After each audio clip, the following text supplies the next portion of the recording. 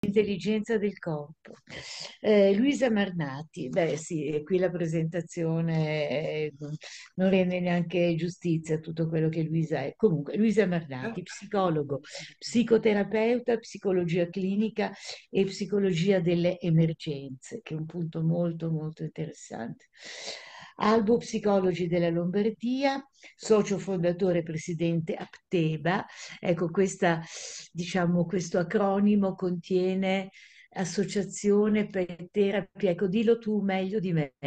Associazione, Associazione Pet Therapy e Bioetica Animale. E Bioetica Animale, perfetto presidente sezione Ligura dell'Associazione Italiana Psicologi e Psichiatri Cattolici, vicepresidente SIPEM, cioè Società Italiana Psicologi Emergenza, sezione Liguria, socio amico aiutante, aggregato gruppo Alpini Rapallo, Ah, complimenti.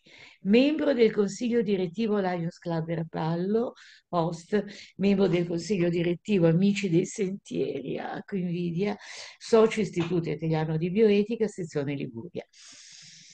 Ha pubblicato per Xenia Edizioni Il rilassamento, 1926, Il rilassamento creativo, 1997, Vincere il panico 1998 e con Andrea Schnöller Meditazioni nella natura. Ah, interessante per me anche. Manuale di Pet Therapy 2011, autore del saggio La morte e gli animali.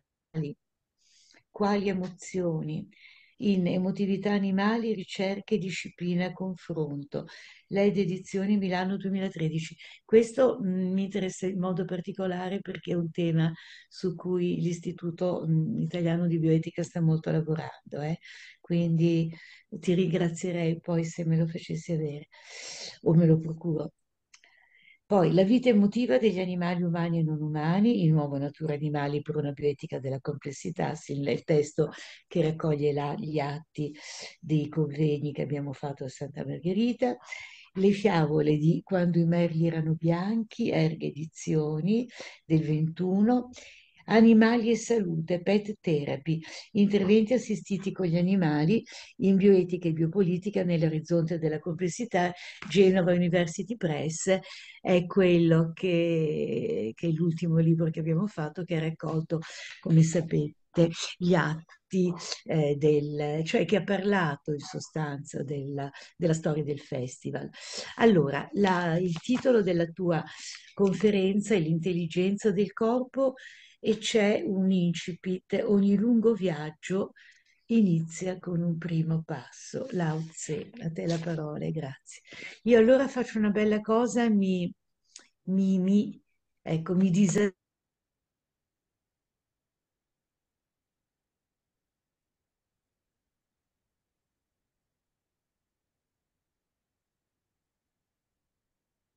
Mi vedete? Mi sentite? Sì, vediamo e sentiamo. Ok, perfetto, perché io adesso vedo No, no, ti sentiamo. perfetto. Allora, ehm, parlavamo prima di quella bellissima poesia di Enzo Baldini eh, sui 75 anni e Dell'intelligenza artificiale. dell'intelligenza, ecco, eh, ma senza intelligenza artificiale la ritroveremo poi alla fine del mio intervento e poi capirai perché.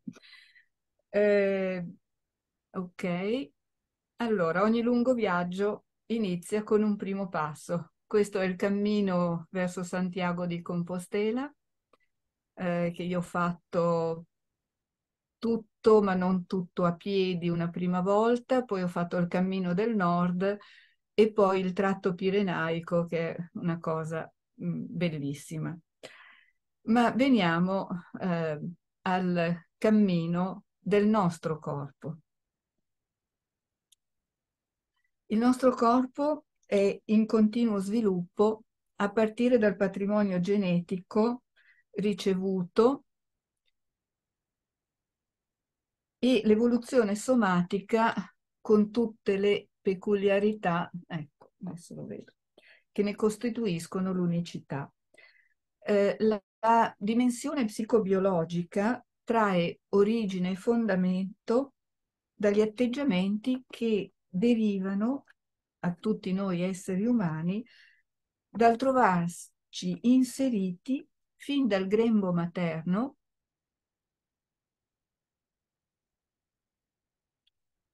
e con la nascita in un certo tipo di contesto familiare,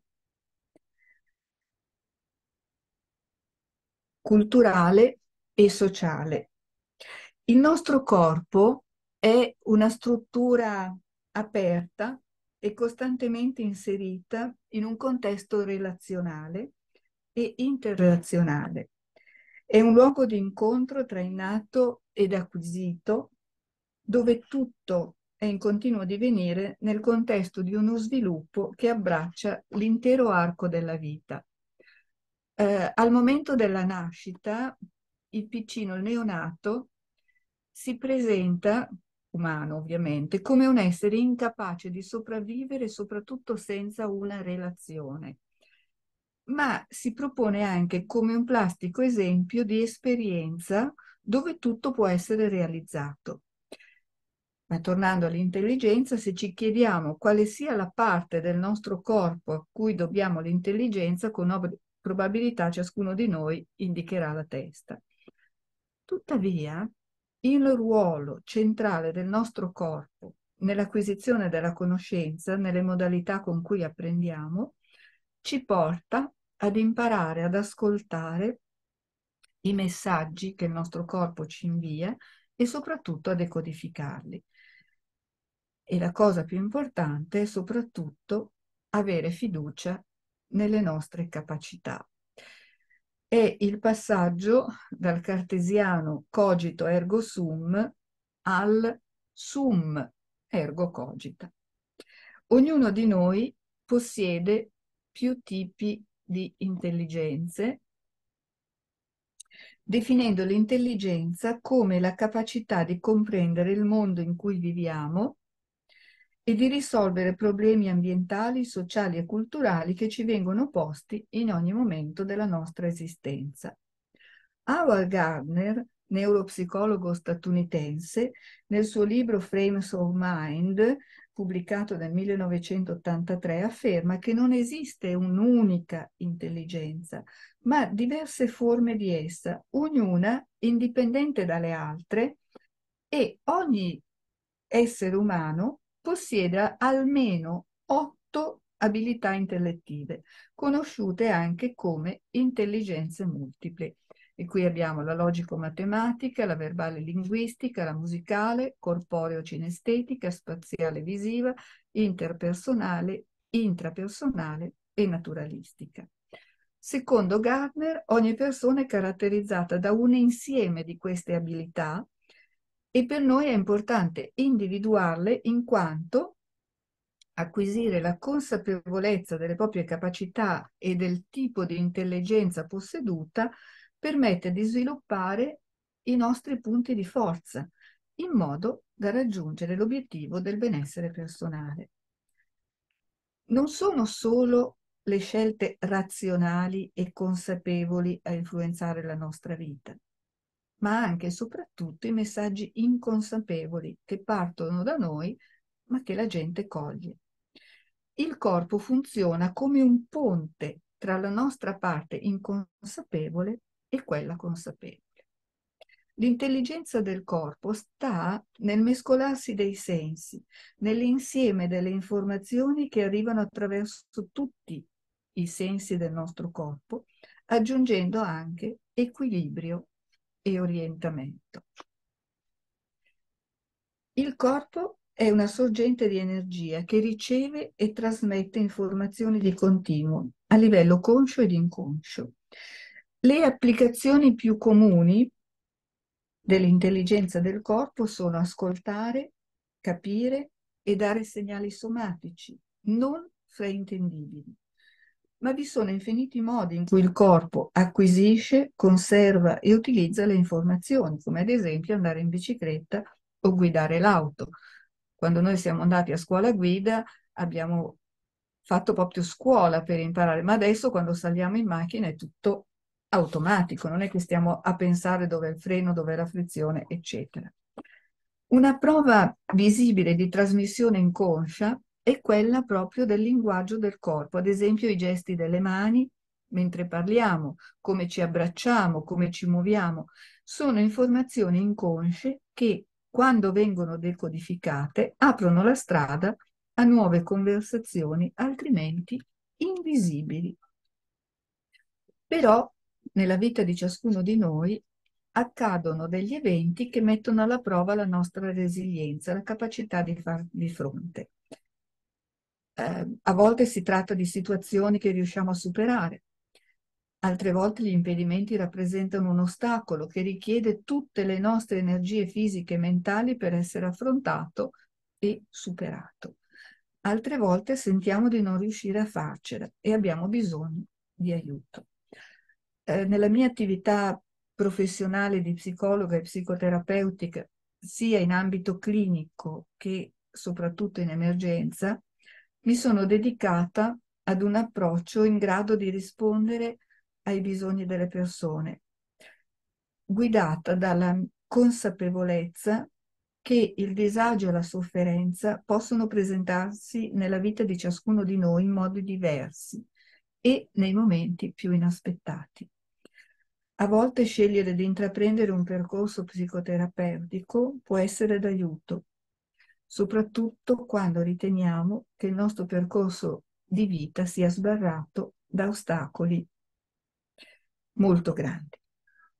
Le esperienze vissute dalla vita intrauterina alla prima infanzia lasciano un retaggio di apprendimento verbale e non verbale che influenza lo sviluppo psicocorporeo e influenza le relazioni, gli schemi cognitivi, la capacità di vivere le proprie emozioni.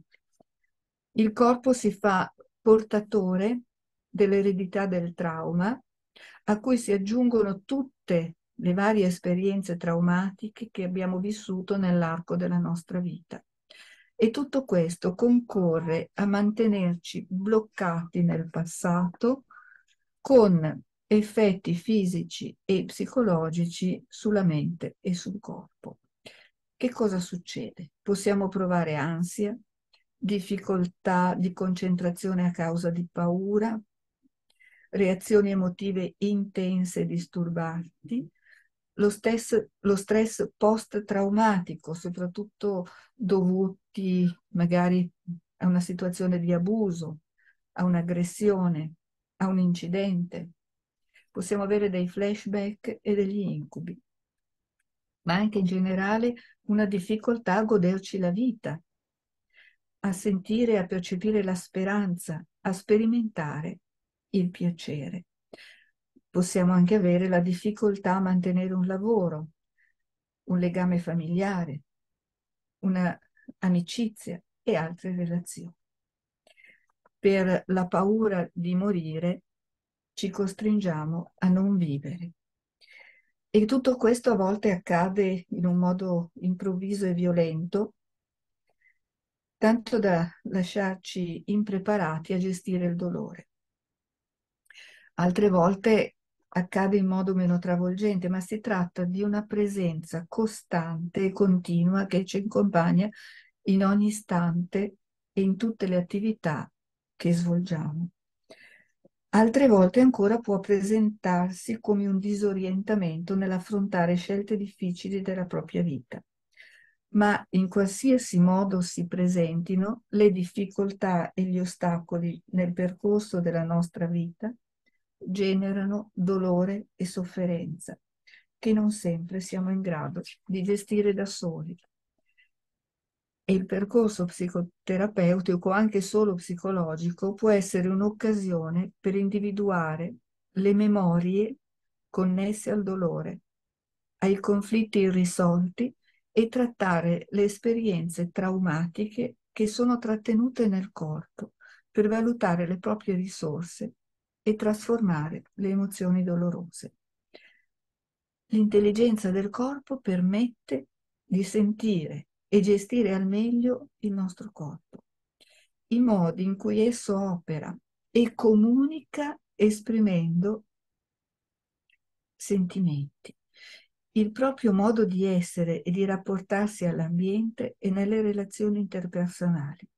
È la connessione tra l'intelligenza emotiva e l'intelligenza del corpo.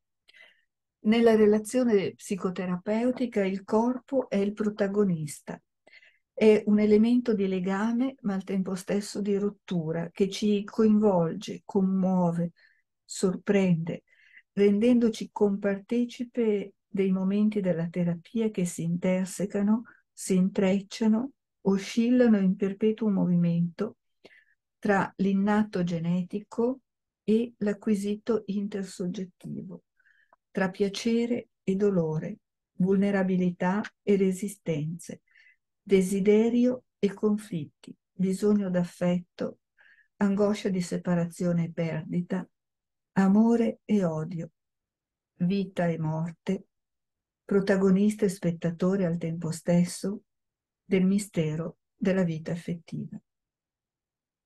Il corpo in cui io vivo, la consapevolezza del mio corpo, nelle percezioni e sensazioni che da esso derivano, riveste connotazioni differenti e mi indica il cammino terapeutico da percorrere, la possibilità di accedere a un linguaggio segreto dove perdita, sconforto, impulsività, senso di vuoto sono manifestazione della sofferenza, del disagio e dei disturbi. E l'essere attenta, disponibile al contatto affettivo e mettermi in ascolto delle domande, delle richieste spesso provenienti da chi non è in grado di gestire i propri affetti, cercando di stabilire un rapporto tra i bisogni fondamentali, le emozioni e le modalità di comunicazione relazionale. È una struttura che lega l'emozione al linguaggio, al corpo come supporto delle pulsioni e degli istinti tra mente e soma biologico. Molto spesso il corpo si rivela come unico mediatore con il corpo e la mente dell'altro. Un corpo svuotato spezzato, disperato, che abbiamo paura di affrontare e da cui vogliamo sfuggire per non affrontarne la realtà, le sfide, ma anche le sorprese. Il corpo è anche, se non soprattutto, sorgente di energia e di vita. Occorre esserne consapevoli e presenti adesso, nel silenzio. Padre Andrea Schnöller frate Cappuccino, nella sua La via del silenzio, scrive La presenza al corpo educa di fatto la mente alla tranquillità e alla presenza consapevole attraverso l'amicizia col corpo e il vivo contatto con le sue sensazioni. Quando siamo presenti al corpo e alle sue sensazioni, abitiamo noi stessi, siamo consapevoli di noi stessi, qui e ora. Questo abitare nel presente del proprio corpo diventa silenzio, raccoglimento, è uscire dalle mille fonti di confusione in cui siamo abitualmente immersi per accogliere interamente l'attenzione della mente su un oggetto soltanto, il nostro corpo, e rimanere fedelmente con esso. Questo è un percorso meditativo. L'intelligenza del corpo è capace di assolvere un numero quasi infinito di compiti. Se sappiamo utilizzarla lavorando in sintonia con essa, riusciamo a prevenire tensioni, disturbi, paure, malattie. Ma la lotta più dura che il corpo deve affrontare viene da noi stessi. Quando ostacoliamo i suoi impulsi naturali, le sue funzioni biologiche, interferiamo sconvolgendo i ritmi naturali. Ogni volta che escludiamo intuito e consapevolezza, attribuendo eccessiva importanza alla razionalità, noi ci separiamo dal corpo e diventiamo incapaci di intuirne le reali esigenze e richieste. E da questo atteggiamento originano i punti vulnerabili, stress, difficoltà nella gestione dello stress, sindromi psicosomatiche, sintomatologie ansiose o stati depressivi, attacchi di panico, difficoltà nelle relazioni, ma soprattutto campanelli d'allarme, disturbi del sonno e disturbi alimentari. Spesso arriviamo addirittura a odiare il corpo. Detestiamo l'aspetto fisico, grasso, magro, alto, basso. Disapproviamo come si muove nell'ambiente. Lo critichiamo anziché vederne i lati positivi. Temiamo e proviamo paura dei suoi impulsi, delle pulsioni, della sua sessualità. Bistrattiamo l'organismo con alcol, tabacco, droghe, farmaci, che giorno dopo giorno ci avvelenano e danneggiano irreparabilmente questo dono meraviglioso che è il corpo. E che dire del rapporto corpo-cibo? La nostra occupazione principale sembra essere quella di nutrire il corpo o con troppo cibo o con troppo poco. Mangiamo ciò che ci capita, ingurgitiamo il tutto irregolarmente, senza orari, senza tener conto dei ritmi e delle giuste esigenze fisiche e psicologiche del nostro organismo, che richiede regolarità, freschezza e dosaggio. Dedicarsi a un esercizio fisico, anche modesto, ma quotidiano, favorisce il benessere del corpo e della mente. Può anche essere sufficiente lasciare a casa l'auto, farsi una bella camminata, scendere dall'autobus un paio di fermate prima, salire le scale a piedi. Sono tutte attività che migliorano la funzionalità dell'organismo e ci distolgono dalla vita sedentaria cui ormai ci siamo rassegnati. È importante sentirci a nostro agio e iniziare a compiere alcuni piccoli passi, come dicevamo all'inizio. Un primo passo per cominciare a cambiare è interessarci e dedicarci al nostro corpo con amore, puntando l'attenzione sui risultati positivi, sui successi, accettando anche il nostro corpo grasso con la pancia, la statura sproporzionato così com'è ora e cominciamo a prenderci cura di lui e soprattutto di noi. Tutto funziona meglio, c'è equilibrio e armonia.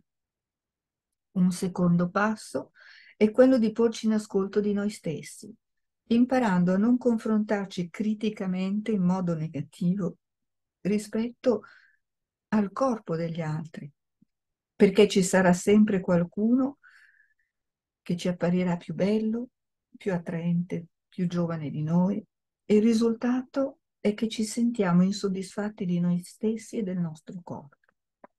Il terzo passo consiste nel prenderci cura concretamente del corpo, concedendoci alcuni momenti ogni giorno, tutti per noi, per fare un pediluvio in acqua calda e profumata. E mentre siamo fermi, massaggiamo le mani con un olio essenziale o con una crema. E al termine massaggiamo anche i nostri piedi. Oppure goderci un bagno speciale rilassante, divertente, traboccante di schiuma profumata in un'atmosfera soft, piacevole, con anche magari una musica preferita in sottofondo. Oppure cantare, ballare con o senza musica, muoverci o semplicemente stirarci in un movimento spontaneo che ci, porta, che ci porta a conoscere il ritmo del nostro corpo. Anche farci le boccacce davanti allo specchio non solo previene le rughe, ma ci distende perché muoverci in ogni modo è amare la vita, ma soprattutto è darci un alt quando sentiamo le prime avvisaglie, del, avvisaglie della stanchezza. Spesso sono sufficienti 5-10 minuti, anche nelle situazioni più disparate, tra le urla dei bimbi, i colleghi d'ufficio, gli impegni, gli spostamenti per ritrovare tutta la carica energetica necessaria e sufficiente per ultimare in bellezza la nostra giornata e abbandonarci fiduciosi tra le braccia di Morfeo per un sonno veramente ristoratore. Questi sono alcuni spunti per stuzzicare la fantasia.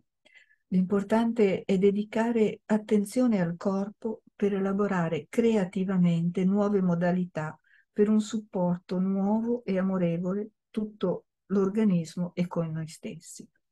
Può anche essere utile costruirci delle frasi propositive da scrivere e tenere sempre con noi per la giornata, la settimana, il tempo che riteniamo necessario. Mi accetto pienamente, vivo in armonia con il mio corpo, rispetto il mio corpo, ogni tensione lascia il mio corpo, accetto le reazioni del mio corpo, amo il mio corpo, ascolto il mio corpo. È quindi necessario imparare a percepire le sensazioni del nostro corpo, ascoltarne i messaggi emozionali attraverso diverse modalità. Alcune le ho suggerite prima, altre possono essere queste. Il cammino attraverso il corpo. Ci soffermiamo liberamente con il pensiero sulle zone del nostro corpo, partendo possibilmente o dal capo o dai piedi. In questo esercizio pratico non è essenziale il punto di partenza o l'ordine con cui portiamo la nostra attenzione alle singole parti. L'importante è porsi in ascolto, cioè cominciare a sentire, a distinguere il tipo di messaggio che una precisa area ci sta inviando. Un secondo punto è l'attenzione presente al corpo e alle sue emozioni. Partendo dal corpo nella sua globalità, focalizziamo l'attenzione su una zona precisa, vivendo ogni sensazione, senza respingerla, ma accogliendo tutto ciò che il nostro corpo ci invia. È importante un terzo punto, imparare ad ascoltare il proprio corpo, perché il nostro corpo ci invia dei messaggi che sono impalpabili, sottili. È un percorso meditativo e ascoltarli richiede un allenamento quotidiano e costante. Ma questo è l'inizio del cammino verso il nostro benessere perché quando siamo in grado di decifrare i segnali di disagio che il corpo ci invia, riusciamo anche a elaborare le informazioni emotive che sono alla base dei disturbi psicosomatici, prevenendo disturbi o malattie ancora più gravi. Il corpo viene percepito nella sua forma e posizione nel momento presente è il pensiero che si sposta, prestando attenzione alle sensazioni ed emozioni che vanno di volta in volta emergendo. Se ogni tanto, soprattutto all'inizio, l'attenzione tende a dirigersi altrove, con molta delicatezza cerchiamo di riportarla al corpo e alle sue sensazioni, ai suoi punti di contatto, sia che siamo seduti sulla sedia, sul divano, sulla poltrona, o se siamo in piedi. Attenzione al respiro e poi riprendiamo il percorso di ascolto. Questo è l'inizio della consapevolezza e quando siamo in ascolto del corpo comunichiamo con un grande mistero. È un mistero di vita e di intelligenza. È l'intelligenza del corpo, dalla quale la mente quando è silenziosa, impara molte cose e diventa essa stessa più intelligente e saggia. E questa saggezza è l'intelligenza cellulare del corpo. Khalil Gibran, poeta, filosofo e pittore libanese, scrive La tempesta è capace di distruggere i fiori, ma è incapace di danneggiare i semi. Questa è la consolazione che il cielo consegna ai cuori dei grandi uomini che amano le grandi azioni. E questa è la luce che fa sì che noi, i figli del sapere, camminiamo a testa alta sul sentiero della vita. La vita è una scelta continua, quotidiana, per tutti, nessuno escluso. Quando il dolore straripa, quando la tempesta è in atto, quando lo scoraggiamento supera i livelli di guardia, quando qualcuno ci tradisce, quando il cuore è gonfio di amarezza, per tutti c'è un momento di abbandono, di disperazione. Non ce la faccio più. La tempesta è capace di distruggere i fiori, la loro bellezza, il loro profumo, ma non è in grado di danneggiare i semi. E allora si può ricominciare. Nel cuore dell'inverno germoglia la primavera. La terra brulla, spaccata dal gelo, non è morta. La neve, il gelo, la pioggia nutrono il sogno della rinascita perenne. È credere nelle stagioni e la speranza genera amore e vita. Resilienza e speranza. Nel silenzio il nostro corpo lenisce le ferite della mente e del cuore, le guarisce e fa fiorire la speranza. L'intelligenza del corpo dissolve le nebbie, sconfigge le tenebre, ci fa uscire dalle sabbie mobili dell'immobilismo, seminando fiducia nella vita e infonde coraggio e ci fa scoprire la bellezza. Alimenta i sogni e ci aiuta a realizzarli. L'intelligenza del corpo è quella del seme. Seppellito, germoglia, si apre, cresce, porta vita, rinnova e si fonde con il respiro dell'anima, che è capace di vedere in tutto il suo stile, la sua logica e il suo amore. Il tutto è il seme, ma occorre farsi zolla per accogliere, attendere e far germogliare la bellezza delle corolle e assaporare l'intensità del profumo. Il vento parla dolcemente in egual modo tanto alle querce giganti quanto al più piccolo filo d'erba. È grande solo colui che trasforma la voce del vento in una canzone resa più dolce dal proprio sentimento. Sogna ragazzo, sogna. A Sanremo 2024, nella serata delle cover, professor Roberto Vecchioni ha ammaliato il pubblico con la sua canzone cantata in duetto con il giovane Alfa. Sogna ragazzo sogna e la vita è così forte che attraversa i muri per farsi vedere. La vita è così vera che sembra impossibile doverla lasciare. La vita è così grande che quando sarai sul punto di morire pianterai un ulivo, convinto ancora di vederlo fiorire. Il messaggio della canzone di Vecchioni è quello di credere nella forza dei sogni e soprattutto l'invito a non arrendersi dinanzi agli ostacoli, alle sofferenze, ai dolori, ai traumi che ci presenta la vita.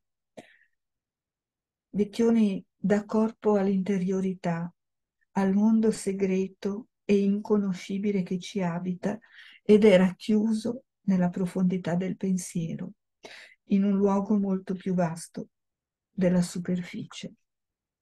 In quel regno, il regno del possibile che vive nell'inconscio, la forza di volontà rappresenta il vero motore. La forte temperatura emotiva di questo brano è data dal messaggio generazionale e dal dialogo interiore L'autore sta parlando alle generazioni che verranno, ai ragazzi che diventeranno adulti, ma nel contempo sta parlando anche a se stesso, al giovane sognatore che è stato, a ciascuno di noi. un richiamo ai versi del poeta turco Nazim Hikmet, uno dei maggiori autori del Novecento, un simbolismo che trova rappresentazione nell'associazione tra la vita e la pianta dell'ulivo. La vita non è uno scherzo, prendila sul serio come fa lo scoiattolo, ad esempio, senza aspettarti nulla, dal di fuori o nell'aldilà. Prendila sul serio, ma sul serio a tal punto che a 70 anni, ad esempio, pianterai degli ulivi. Non perché restino i tuoi figli, ma perché non crederai alla morte pur temendola. Il poeta ci invita a piantare gli ulivi, non perché restino i nostri figli, ma per allontanare la morte e credere nella vita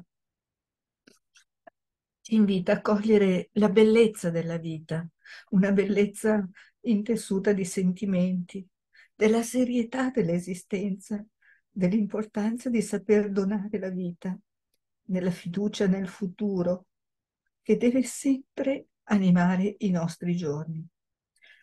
Ci sono dei racconti, dei romanzi, delle poesie in cui dovremmo imbatterci da ragazzi, quando tutte le strade dinanzi a noi si aprono e chiedono soltanto di essere percorse. Un'intensità dei sensi e del pensiero che l'intelligenza del corpo può cogliere e saziare la sete di esserci e che vede nell'immagine degli ulivi piantati in tarda età, non per i figli, ma per se stessi, l'espressione più vera. Una canzone, una poesia brevi versi che fanno parte della vita e che la rendono preziosa a qualunque età. Grazie.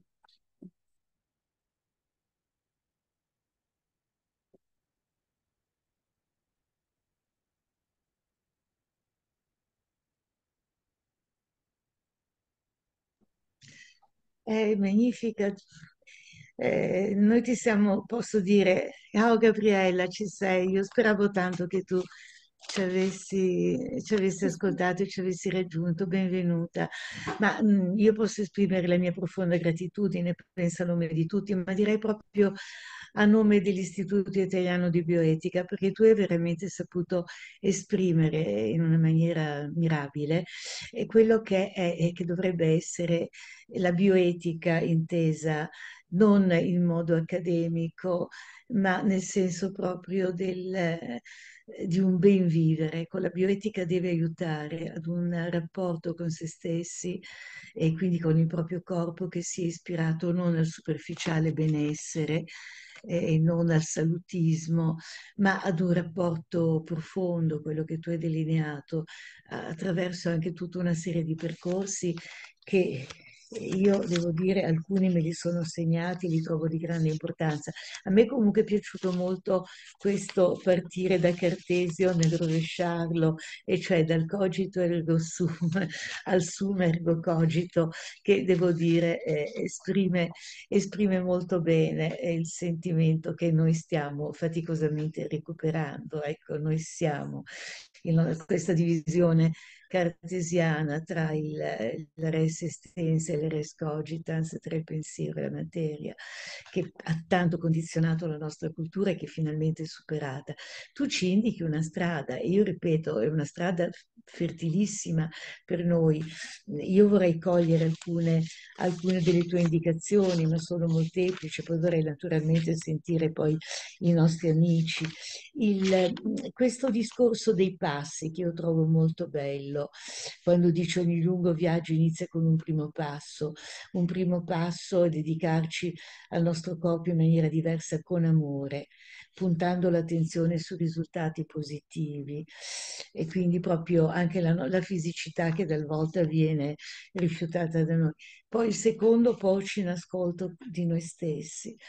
Ecco, anche questo è un altro tema fortissimo in bioetica, cioè che investe due temi due, due, su cui noi lavoriamo molto, il tema della vulnerabilità, per cui noi siamo molto vulnerabili e quindi siamo molto fragili e dovremmo avere la consapevolezza di questa fragilità e questa fragilità ci dobbiamo convivere, non dobbiamo odiarlo, condannarla e quindi ecco mantenere l'amore in questo senso, no? puntando sugli aspetti positivi e poi soprattutto ecco questo porci in ascolto con noi stessi che è, è l'ascolto del, del, corpo. Questo esige, adesso tu mi risponderai, esige un orecchio speciale, noi lo dobbiamo, ce l'abbiamo già, forse lo abbiamo trascurato. Eh, io credo che ad esempio i filosofi greci più antichi ci insegnavano molto bene queste cose. Se noi pensiamo agli studi, alle grandi scuole filosofiche dell'antichità, eh, come ci insegna Pierre Hadot, epicurei stoici, erano, facevano veri e propri esercizi spirituali, ci insegnavano a trattare il nostro corpo, non lo trascuravano assolutamente perché capivano che questo era il nostro essere e quindi erano molto sensibili e, e, io trovo nelle tue parole che ci sia proprio il recupero di una sapienza originaria che noi poi abbiamo perduto. Quando Nietzsche parla dei filosofi spregiatori del corpo, dice qualcosa di molto importante, cioè che il corpo poi in filosofia nel, nel, nel, nella modernità è stato trascurato, non è stato inteso, non è stato ascoltato. Quindi quello che tu dici secondo me ha una grande importanza per chi si occupa di filosofia e di bioetica. Allora, grazie ancora, eh, a te la parola, poi naturalmente ci sono i nostri amici che avranno molte cose da chiedere. Allora, eh, un primissimo esercizio molto molto semplice ma molto molto difficile, quello tranquillamente dove siamo, eh, magari vi invito a concentrarvi sul respiro sul vostro respiro, qui e ora in questo momento, sull'aria che entra e sull'aria che entra. Inspiro ed espiro. Poi posso pensare alla fisicità dell'aria. Quando entra è più fresca e quando esce è più calda. Posso concentrarmi proprio sul movimento del petto che si alza e si abbassa. Però, e questo è un percorso meditativo, perché medito su me stessa. E dopo un attimo la nostra attenzione se ne va. Allora con molta delicatezza ritorno sul mio respiro su ciò che sto facendo in questo momento, perché io posso respirare qui e ora, in questo momento. Non posso respirare né per il respiro che ho perso ieri, né per il respiro che farò domani. Io posso respirare solo qui e ora, posso vivere solo qui e ora. E con questo piccolo, semplice ma difficile esercizio io comincio a fare un cammino attraverso il corpo. Posso partire dalla testa o dai piedi, non ha importanza. Allora dalla testa mi concentro e seguo magari associando al respiro le varie parti, il volto, il collo, le braccia, le, le avambraccia, le mani, il petto, l'addome, le cosce, e quando io sto acquisendo questa mia consapevolezza del corpo, riesco a coglierne anche i messaggi, cioè dove mi fa male, qual è l'energia che mi rimanda, ehm, quale parte del mio corpo mi sta dicendo qualcosa di più eh, perché noi abbiamo dei traumi che sono stati acquisiti durante la vita intrauterina e che ce li portiamo dietro. Noi eh, li chiamiamo il, il mm, trauma strisciante perché può rimanere strisciante per tutto l'arco della nostra vita, ma può anche accadere un effetto, un evento che è un effetto dirompente, scatenante e che poi magari un incidente, una violenza, ehm, un qualsiasi evento che ci riporta immediatamente a galla un trauma che però vive nel nostro corpo, è sepolto un po' come... E, e questo poi ci fa arrivare a, se non preso in tempo, a un disturbo e poi può portare a una sofferenza che non è più sopportabile. Per quello che dicevo prima, cioè prima della basaglia, eh, chi andava dallo psicologo era un matto da manicomio. Sì, sì, sì, Adesso tutto il nostro lavoro è sostanzialmente di prevenzione. Mm. E qui in cinesi, i cinesi sono eh, illuminanti perché dicono che quando il medico cura è perché ha fallito.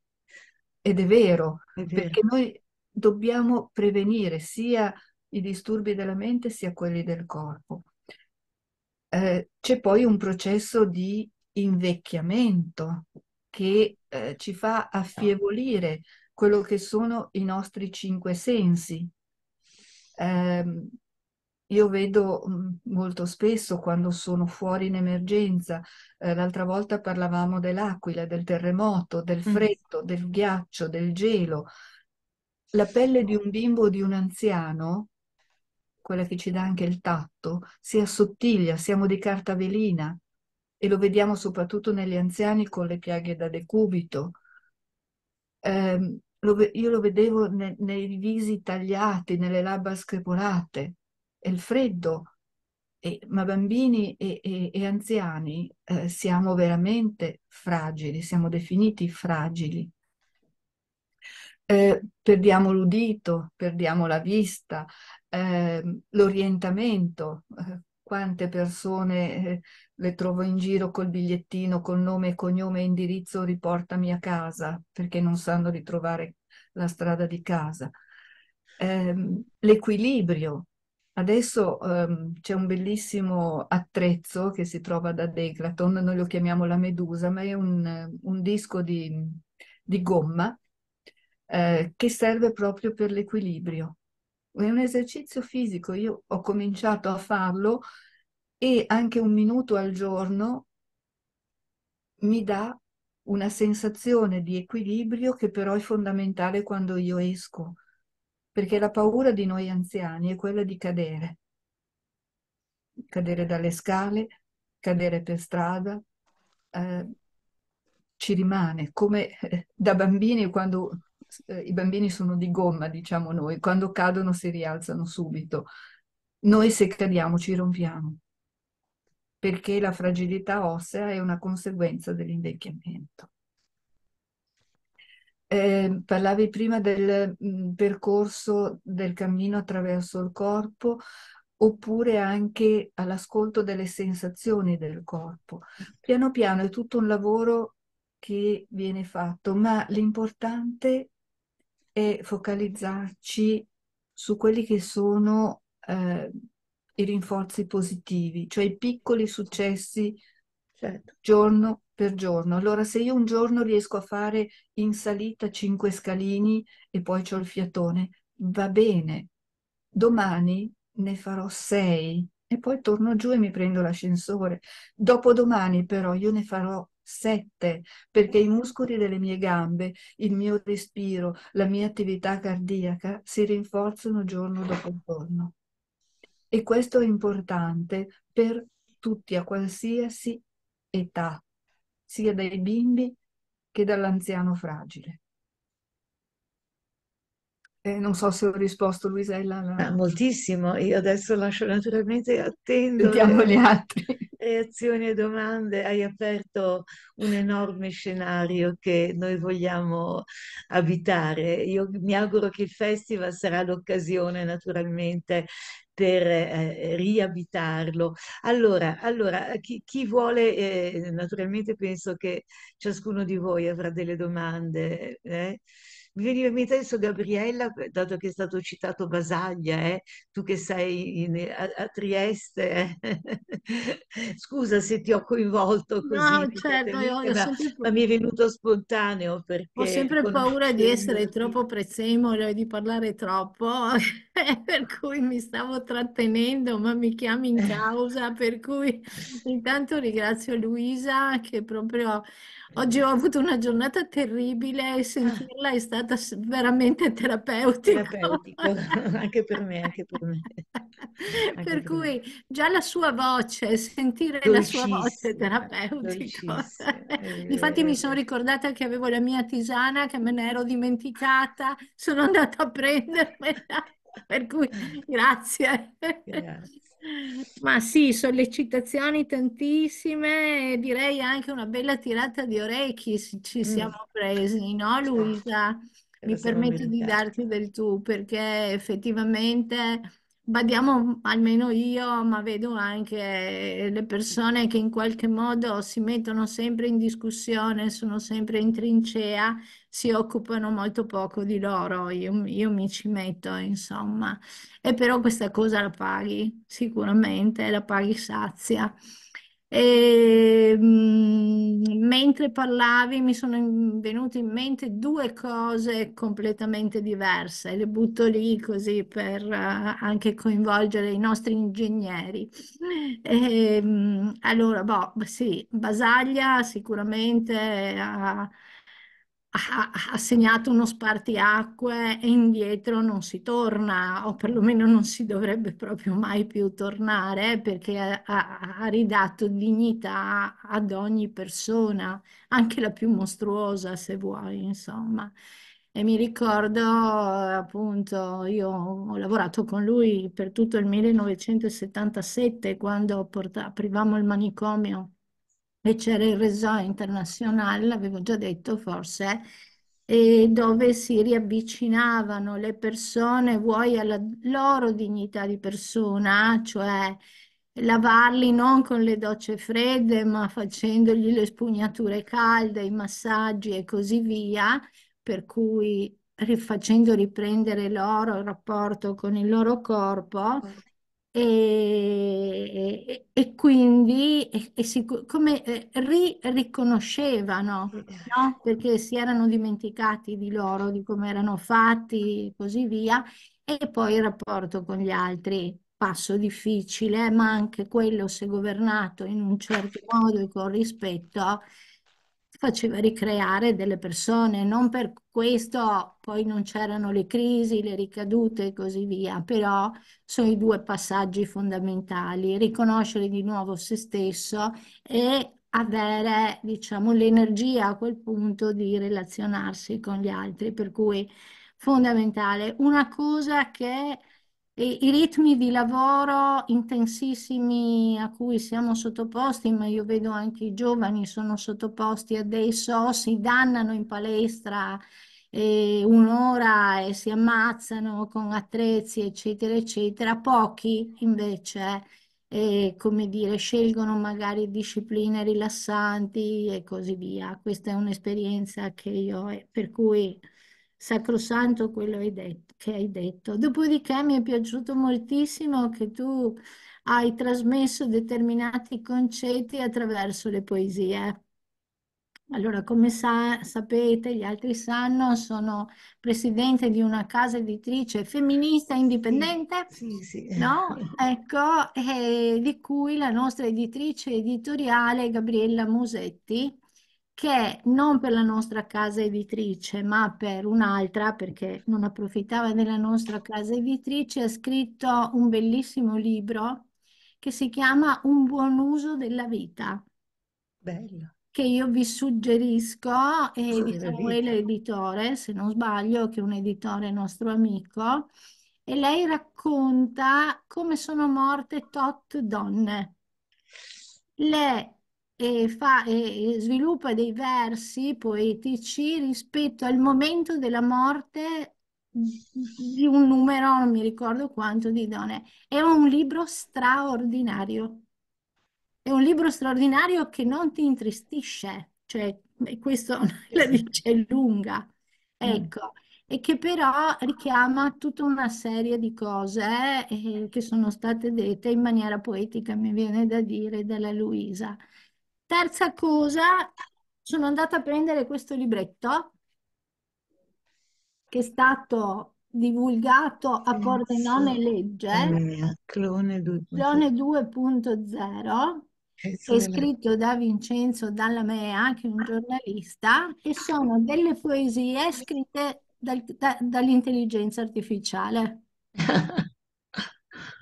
e vi assicuro che alcune sono veramente intriganti. Chiaramente hanno fatto una scelta rispetto, hanno dato degli input agli algoritmi, eh, il clone, eh, la mia rete, le reti neurali e così via. Se mi, permette, mi permettete, ho aperto uno sono dieci righe, sulle reti neurali. Ecco una poesia che i sistemi hanno, i sistemi di intelligenza artificiali eh, hanno scritto. Le reti neurali hanno un'acustica che non riesce a cogliere. Il mondo, l'universo è in continua mutazione. Tutto è diventato vecchio e tutto è diventato nuovo. Le reti ne parlano lentamente. La nuova scena si concentra sulle superfici delle cose. Le idee entrano nei pixel più bassi del sistema solare. I pixel più alti di questo sistema solare riflettono la luce di stelle lontanissime. Ecco, così era una provocazione. Magnifico, no? e qui penso che Enzo Baldini sia particolarmente interessato, Infatti... avendo inaugurato oggi questa... Eh. Mi, mi, mi avete... Io sono stupefatta, devo dire, mm, non immaginavo tanto, ecco, resto a... quasi ammirata, forse esagero, ditemi voi. Ma siamo una bella banda, dai, diciamolo. Dovremmo scrivere qualcosa sul tema bioetica e vedere che cosa questo chapter eh, riesce a esprimere poeticamente. Però la poesia e la bioetica stanno molto bene insieme. Io, io difendo strenuamente una bioetica poetica, creativa, ecco, quindi che attinga da, dalle arti, perché non se ne può più della bioetica accademica. Certo. Quello che mi viene ancora come così... Eh, e spunto è in questo momento quanto ciò che accade intorno a noi di brutto, di bruttissimo, condiziona il nostro, la nostra esistenza minuto per minuto. E secondo me siamo molto, molto segnati, anche se continuiamo a fare le nostre cose, teniamo i nostri corsi, eccetera ma io veramente ho questo male profondo dentro. Io sono un ottimista oltranza e anche nei momenti difficili, come tutti quanti noi abbiamo passato, comunque ho trovato de, de, de, dei motivi e così via per, per, rialzarmi, per guardare il mezzo bicchiere pieno, no? Per andare avanti, per me, i figli, la famiglia, gli amici. Veramente ho difficoltà in questo momento. Il mio corpo è stanco di sentire queste cose e di vedere e di non avere più speranza. Comincio a non certo. avere più speranza e questo è orribile. No, no, questo non dobbiamo perderlo assolutamente. assolutamente. La speranza è vera, eh, Luisa, la speranza assolutamente. L'ottimismo è cosa diversa dalla speranza. Sì, ma diventa una, un atto razionale, non è spontaneo. L'ottimismo, cioè la visione scatologica e, e della ah. speranza che, che, guarda, che, guarda, oltre e l'ottimismo è confinato al presente, insomma, obiettivi più, più limitati. E io faccio una grande distinzione tra le due cose. La speranza è una virtù che noi dobbiamo mantenere nella, nell'orrenda situazione e devo dire che anche, anche il sentimento del dolore, della pietà, perché davanti a certe scene rischiamo di anestetizzarci e quindi questo è un rischio vero, assolutamente. Il, il dolore ci deve essere, la partecipazione, l'empatia, dobbiamo mantenerle, no? Cosa dici Luisa? Credo che... Sì, sì. Eh, eh, la, la aggiungiamo a fede, fiducia, speranza e caritas nel senso proprio di amore, non di amore. Ecco. Pensate quella meravigliosa, quella fotografia della pietà che tutti abbiamo visto, Sì. che esprime un dolore inimmaginabile, indicibile. Allora Enzo, scusa, è che io, io ti avevo chiamato in causa, i due Enzo naturalmente adesso sono chiamati in causa, sono con noi. Eh, chi vuole essere per primo a io dicevo Enzo perché pensavo immediatamente alla, alla Volevo rispondere a dell'intelligenza artificiale, casomai. ma naturalmente... Eh, Prego. Volevo rispondere a Gabriella, poi... a- Ah, scusami, scusami, Ecco. sì, sì, beh, No, eh, allora sei partita da Basaglia, che è un mio grande amore, perché io avrei voluto fare psicoterapia istituzionale. Poi il mio professore eh, ha visto un po' più lungo e mi ha indirizzato nel campo dei fobici e degli attacchi di panico, che effettivamente poi si è rivelata la mia strada. Però Basaglia è sempre rimasto nel mio cuore, tant'è che ehm, tutta la parte di, di quelli che una volta erano i manicomi eh, sono sempre stati molto seguiti da, da me, al punto che eh, anni e anni e anni fa mi capitò eh, tra la pubblicità un piccolo libretto che era Il buco nella rete, che è stato scritto da Gian Domenico Montinari, psichiatra di, di Genova, e racconta tutta l'esperienza di Quarto. Eh, da quel libretto, io dico che ci sono sempre dei fili eh, della nostra vita che vengono tessuti a nostra inconsapevole eh, storia, eh, è stata la mia discesa da Milano a Genova perché incontrandomi con Gian Domenico Montinari poi è iniziato tutto il mio percorso genovese e mi sono poi trasferito, ormai sono 30 anni che abito a Rapallo, quindi da un piccolo libro questo è stato un percorso di vita. E ehm, dicevi prima che noi siamo sempre sulle barricate, è vero, però se questo stress lo fai per un breve periodo di tempo, tu lo smaltisci. È la gestione dello stress.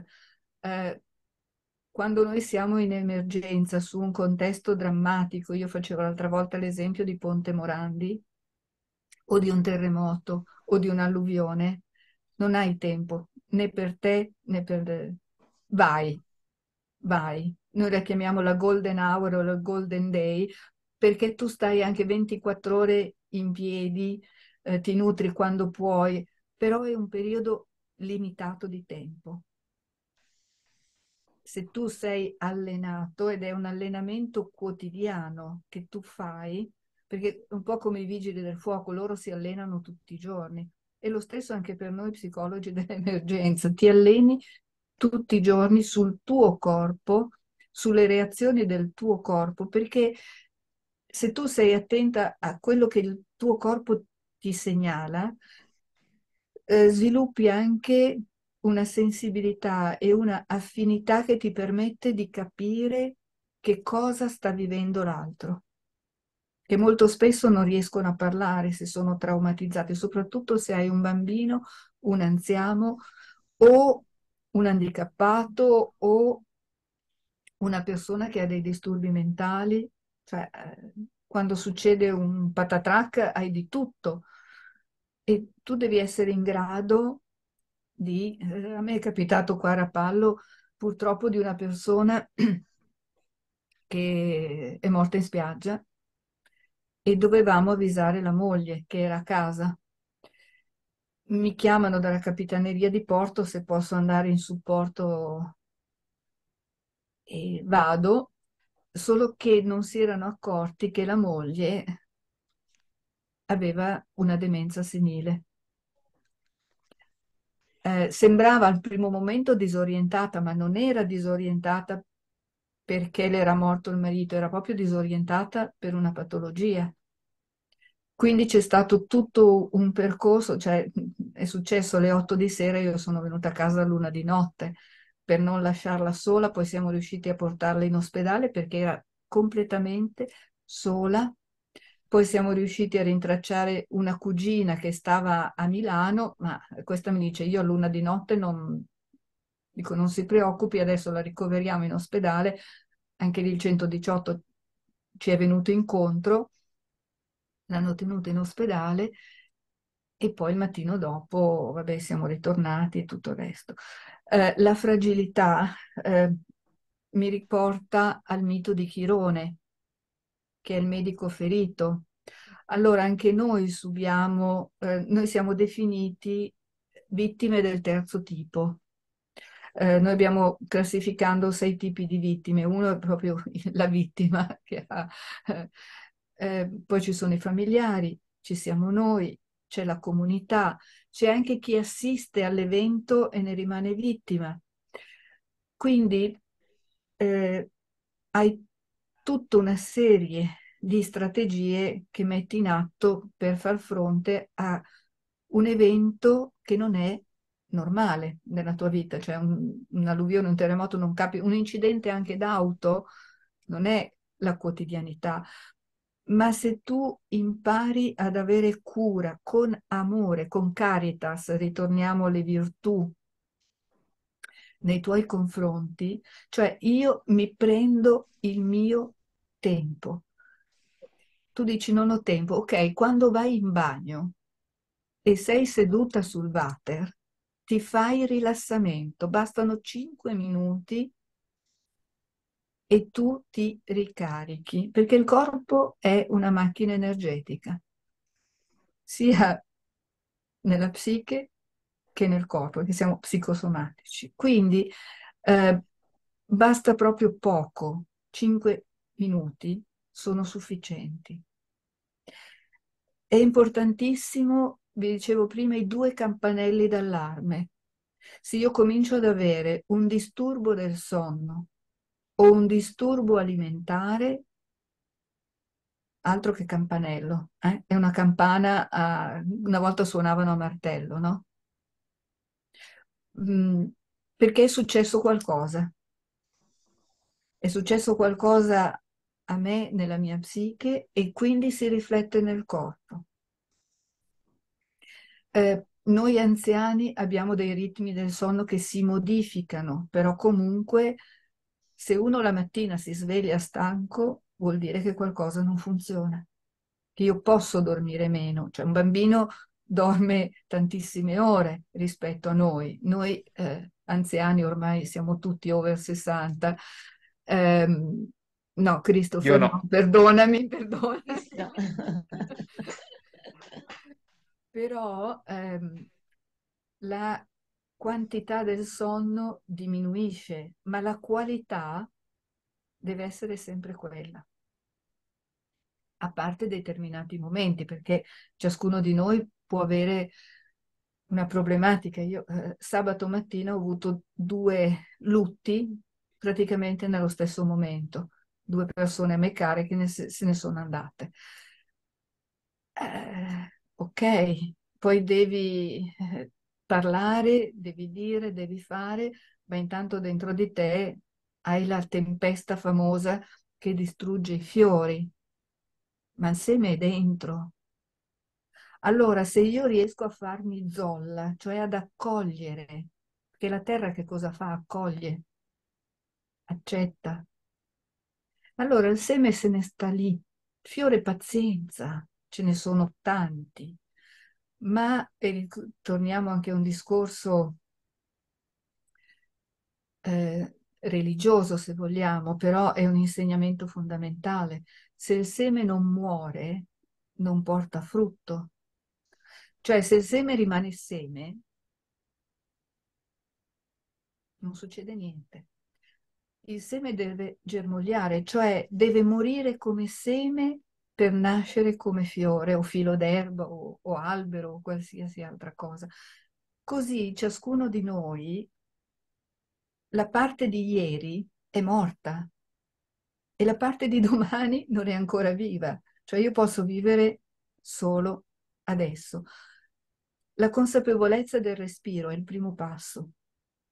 Eh, perché quando tu sei di fronte a una persona che ha un attacco di panico, questa non capisce più niente, ha delle reazioni inconsulte che si butta contro un muro credendo di avere davanti una porta per uscire.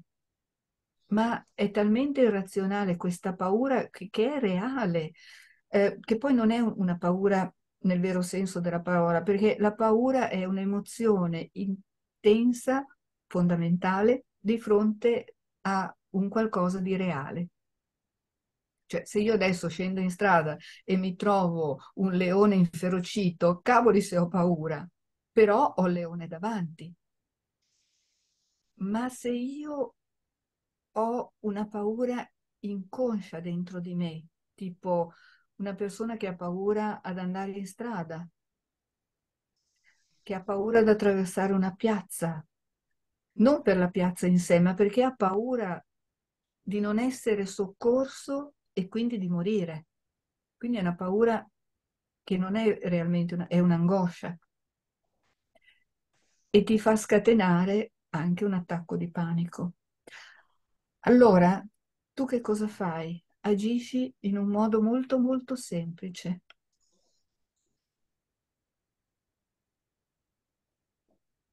Gli fai respirare l'anidride carbonica del suo respiro.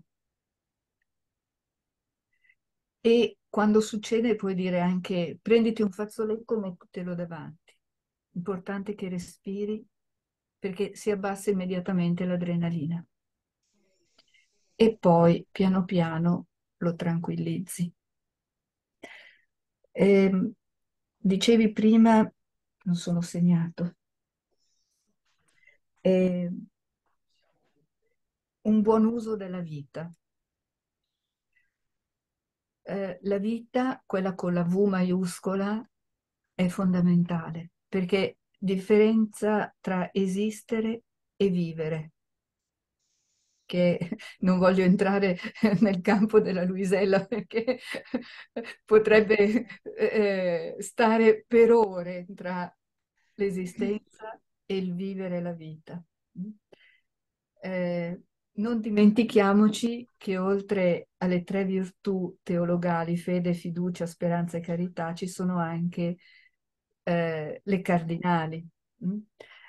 Eh, la fortezza è proprio quella che ci dà la forza di volontà per dire ok, ho capito, ho un problema e vado avanti e se non ce la faccio da solo mi faccio aiutare. Perché ritorniamo al neonato. Il neonato se lo lasci da solo muore. Perché ha bisogno della relazione, oltre che del cibo materiale, ha bisogno della relazione. E, non voglio tornare a tutti gli esperimenti che hanno fatto con gli scimmiotti, col biberon, non biberon, il peluche il peluche.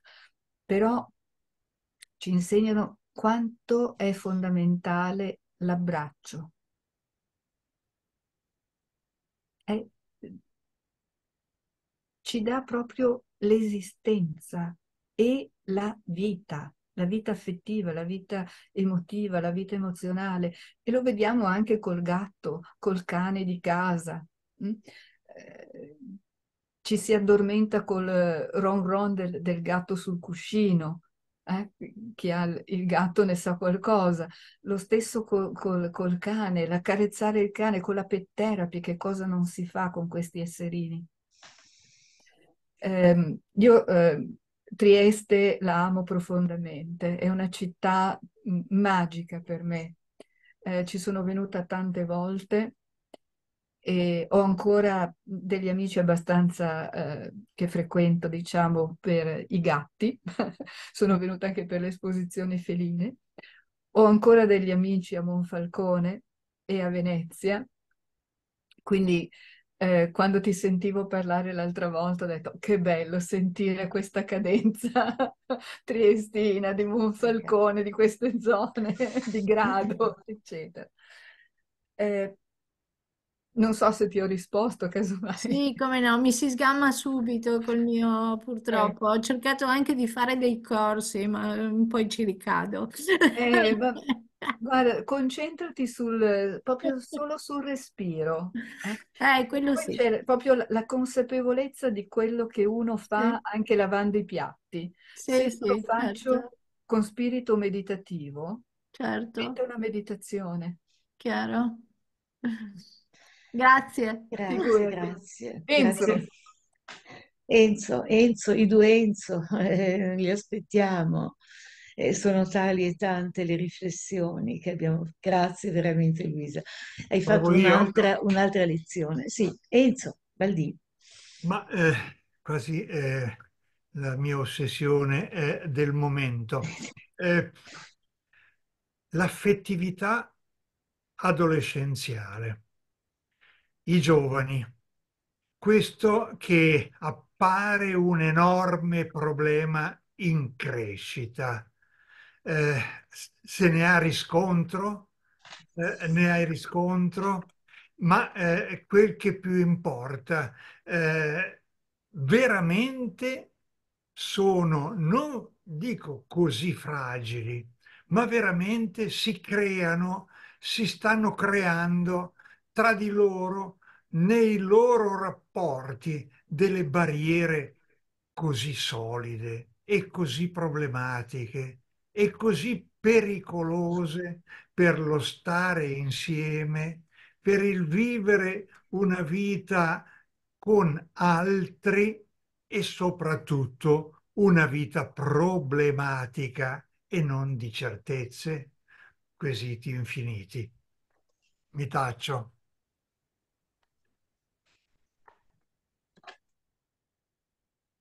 Ehm, io mi occupo dei genitori.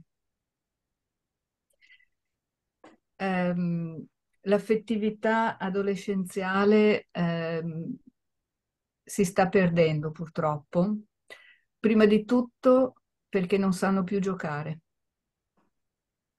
Eh, sono attaccati ai videogames, eh, se gli parli di giocare a prendersi a nascondino è come se venissero giù dalla luna, ma quando io parlo con i genitori che vengono da me perché hanno un figlio, tra virgolette, delinquente, mm, le baby gang, abbiamo visto ancora ieri che cosa non è successo. Eh, mi ricordo una volta che nel Savonese c'erano un gruppo di ragazzi in piazza che giocavano a pallone, solo che il pallone era un gatto. Ecco, ehm, adesso stiamo arrivando proprio a quei livelli veramente. Eh, poi c'è anche la parte, diciamo, dall'altra parte, vedi Beccaria che cosa non stanno scoprendo. Eh, quindi sono le due eh, facce di una stessa medaglia. Ehm, lavorando con le figure genitoriali, ormai non si parla più di padre e di madre, ma di figure genitoriali, eh, ti accorgi che dietro c'è il vuoto. Allora, eh, quando tu sei nel vuoto, noi siamo abituati a stare coi piedi per terra, con la forza di gravità. Ma quando sei nel vuoto, hai paura. Hai paura di cadere e poi hai questo senso di vuoto interiore che è ancora più terribile del vuoto fisico. Eh, prima parlavo dei segnali che, mandano, che manda il nostro corpo, anche proprio il nostro gesticolare con le mani, il modo di abbracciarci, eh, il modo di stare vicini. Eh, sti ragazzi non lo sanno com'è, ma perché non lo sanno i loro genitori. Eh, se tu vedi, ehm, addirittura ai ragazzini delle medie, ehm, io anni fa avevo ottenuto mh, degli incontri di educazione sessuale ai ragazzini di terza media. Eh, quello che, non, che, che mi hanno scritto nelle domande, diciamo, anonime, eh, mi ha lasciato esterrefatta, ma proprio ai nostri tempi si parlava di educazione sessuale e ci veniva comunque insegnato qualcosa. Adesso tu hai ragazzini eh, che hanno rapporti sessuali, con tutti i rischi affettivi, parte quelli mh, di eventuali patologie trasmissibili sessualmente che lasciamo perdere, ma dal punto di vista affettivo, eh, che cosa è diventato una relazione d'amore? Niente. È uno sfogo fisico che rasenta la violenza. Perché quando tu non sei consapevole del tuo corpo e di quello che prova il tuo corpo, non sei neanche consapevole di quello che prova l'altro. Poi qui c'è anche la differenza tra maschio e femmina. Eh, tornando ai genitori, è eh, una drammaticità che si vive e che io vivo quando mi relaziono con loro, perché trovi proprio, oltre a una barriera, a un muro di gomma, cioè, ma io che cosa faccio? Eh, comincia a vedere il tuo benessere, che non è egoismo, non è egoismo, perché, ritornando a quello che diceva Gabriella prima, se io non mi nutro, se io non dormo, se io non mi rilasso, poi vado in tilt. Se non riesco a darmi un alt, poi non riesco più neanche a aiutare. Eh, nel soccorso tu hai una regola fondamentale che è autoprotezione e scena sicura. Se no ti fermi, non intervieni. E a maggior ragione se io sono in un rapporto psicoterapeutico.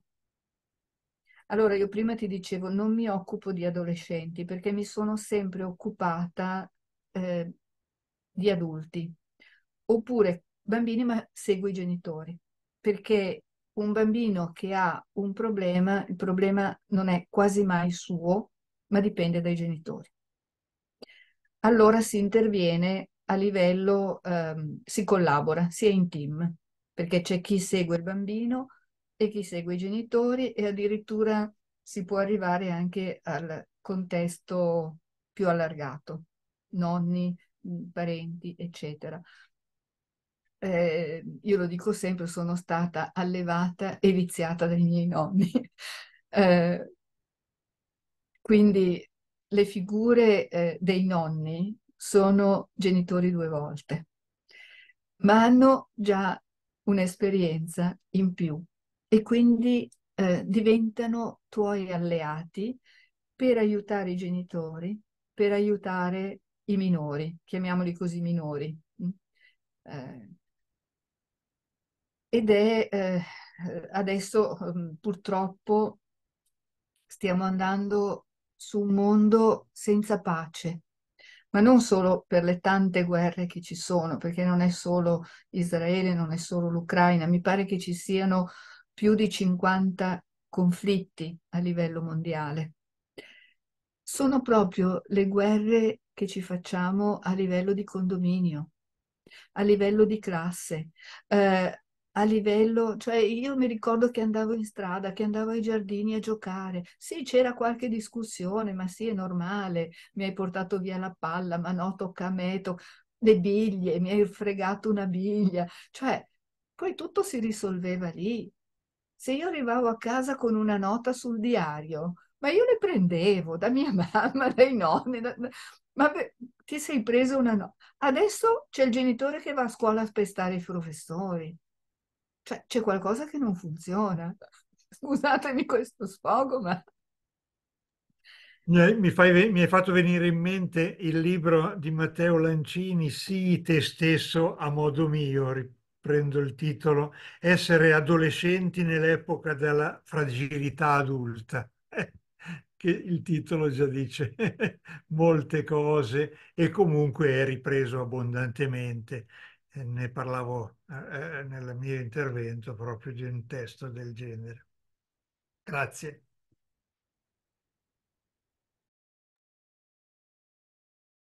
Ah, eh, intanto Ringrazio Luisa come al solito che fa delle cose, ma mi direi un po' tutti quelli che si sentono. Comunque, eh, effettivamente, molte cose, molti suggerimenti che, eh, che dà in qualche modo eh, sono importanti e mi accorgo che eh, personalmente, visto che ha citato Charlie Brown, no, io magari metto sì dove dovrei mettere no e viceversa, no? Sbaglio tutte le colonne pensando certe cose. Eh, in particolare eh, direi eh, per quello che, che riguarda il eh, non fermarsi, no? Eh, continuare sempre a, a operare, quindi no, non sapersi gestire, gestire le proprie forze, quindi eh, questa è una cosa molto complicata. Come, come, domanda volevo chiedere cosa ne pensi di tutte le problematiche del gender che ci sono adesso per i ragazzi che eh, non riescono a capire il sesso, di che sesso sono o così via. Insomma. Grazie. Grazie a te. Eh, anche di questo non mi occupo. Quindi no, nel senso che ormai eh, tutti ci si specializza eh, in un settore.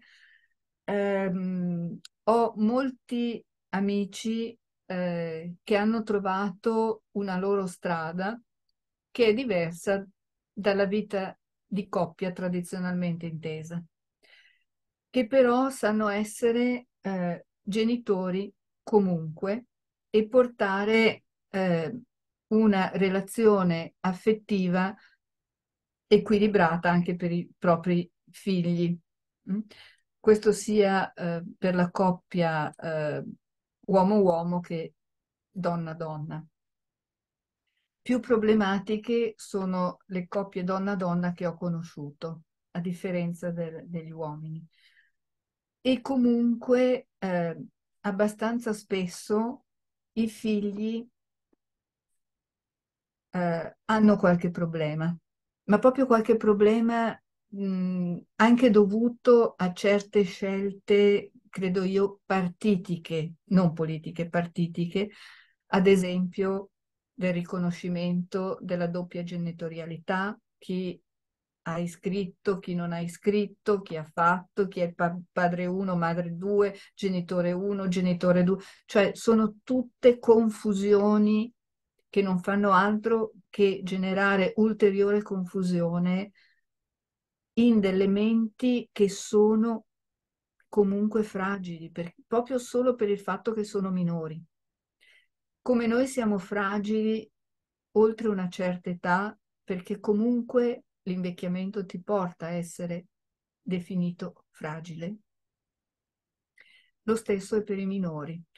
Pensiamo all'embrione un danno che viene fatto a un embrione è grandissimo rispetto a un danno che viene fatto a un neonato o che viene fatto a un bambino o ad un adolescente o a un adulto.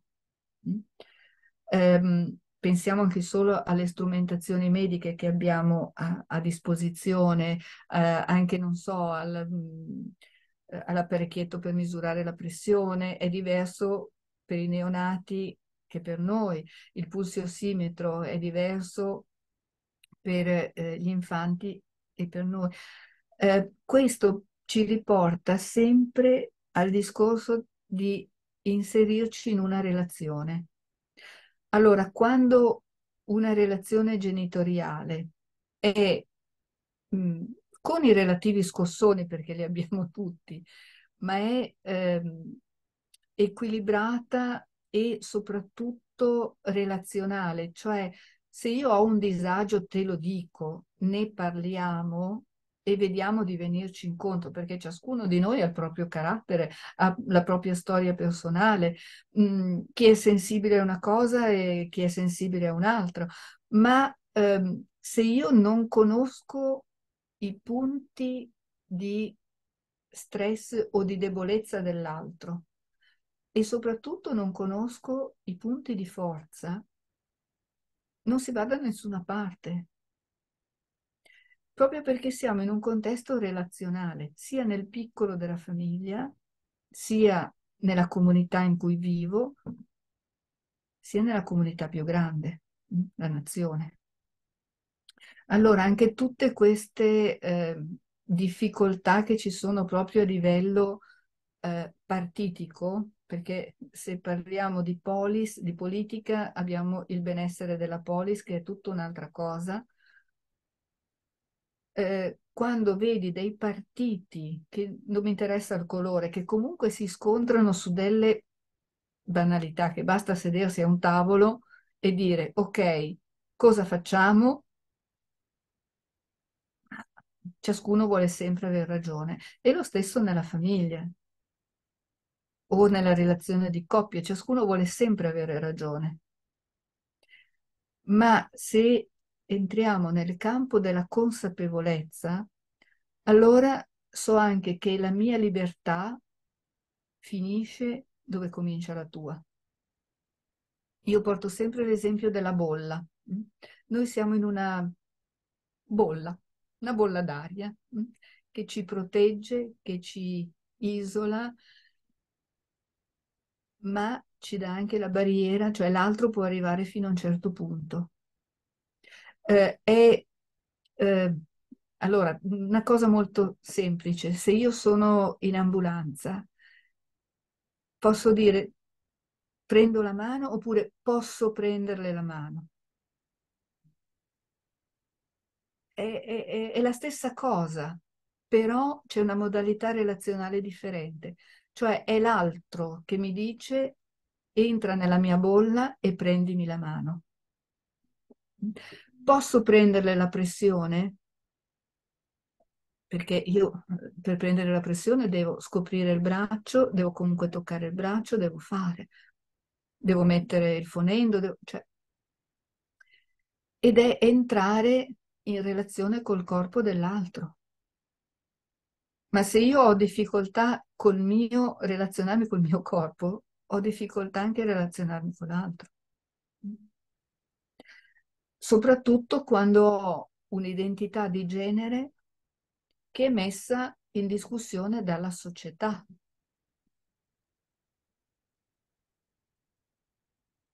E allora, eh, quanti ragazzi, eh, adolescenti o comunque nella giovinezza hanno timore a parlarne con i genitori?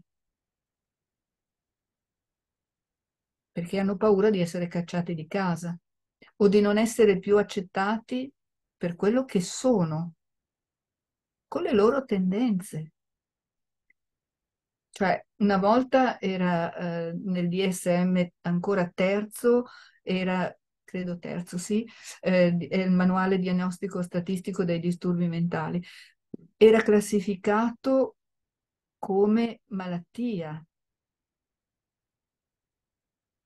Eh, se andiamo ai tempi del, del 40-45 sappiamo da parte di Hitler che fa fine facevano tutte queste persone.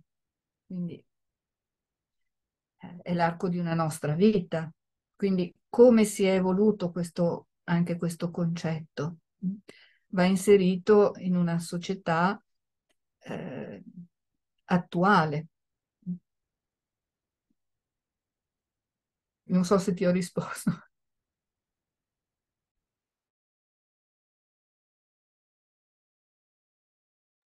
Grazie mille. Grazie Luisa, grazie anche da parte mia. Tra l'altro è un tema bioetico questo della, della disforia sessuale che ci sta occupando come Comitato Nazionale di Bioetica e, e c'è uno scontro non da poco tra sostenitori di diverse opzioni e, e tu hai detto delle parole molto sagge e, e, noi dovremmo veramente molto riflettere su come potremmo aiutare questi adolescenti che sono in cerca di sé e che, che, quindi la medicalizzazione della risposta, come molto spesso viene proposta, ecco, non sembra quella più appropriata, perché come, eh, come tu mi insegni, eh, i ragazzi dagli otto anni in su vivono in una situazione, immagino, di grande confusione, in cui la ricerca della propria identità sia eh, in itinere e quindi difficile poi poter dare una risposta in termini positivi a questa domanda. Eh, e quindi ho l'impressione che la risposta di tipo medico che blocca ad esempio questo processo della povertà, ecco non so tu cosa ne pensi, ma sia una risposta così molto, molto limitata, molto... ma questo adesso non ti voglio impegnare, ma se hai una, una risposta mi fa molto piacere, con la tua opinione naturalmente te ne sarei grata. E anche i genitori entrano un pochino in gioco in questo, eh? nel prendere posizioni e nel... Mm. Ehm, è un problema che ho seguito um, ultimamente, mm. anche per tutto il clamore che è stato suscitato. Ecco. Uh, è un qualcosa che secondo me deve essere affrontato, come dicevo prima, ehm, sì a livello psicologico, ma soprattutto ci vogliono delle normative o comunque degli orientamenti eh, che vanno al di là del singolo, perché altrimenti ciascuno eh, agisce, cioè come i giudici di Cassazione che emettono una loro sentenza che poi eh, occorre mettersi, mm, e questo il Comitato di Bioetica può fare tantissimo, proprio mettersi a un tavolo e coinvolgere le forze politiche per dare un indirizzo. Um, se vuoi un parallelo è con tutta la normativa della pet therapy. Hai cominciato tu con l'Università di Genova nel 2006, se non ricordo male, sì, sì, sì e poi anche con, con Manti, con le prime proposte di legge, eccetera, per arrivare a una normativa nel 2015. Però se non si comincia, certo. eh, si va sempre così, eh, si naviga a vista, ma non sempre è opportuno navigare a vista.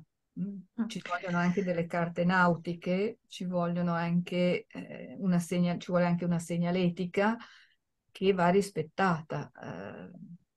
Come nel codice della strada, come nel codice nautico.